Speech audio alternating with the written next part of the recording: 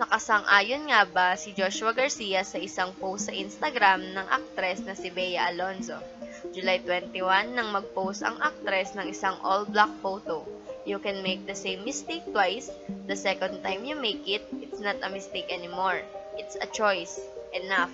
Ang nakalakip na caption ni Bea sa kanyang post. Makikita naman rin na nilike ni Joshua ang kanyang post. Hindi rin naman maiwasan na hindi ito pag-usapan lalo na at si Julia Barreto ang inaakala nilang third party sa relasyon ni na Gerald Anderson at ng actress kaya ito naghiwalay.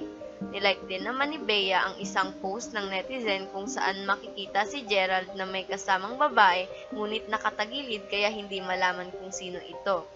July 21 nang mag-post rin si Joshua sa kanyang Instagram stories ng written text na I'm mute at ang sunod naman ay isang screenshot mula sa isang eksena kung saan may quote na You will move on to someone better than me.